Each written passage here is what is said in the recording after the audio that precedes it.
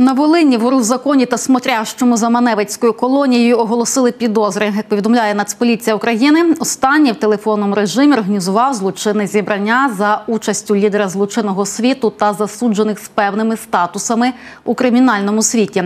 На сходці вор в законі виступив у ролі так званого судді та за та вирішив конфлікт, який виник між її учасниками.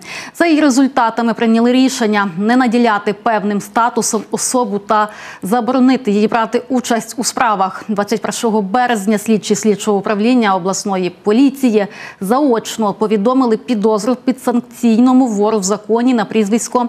Дато Ланчхуцький за участь у так званій сходці. Підозру одержав і так званий смотрящий за колонією та чорним общаком.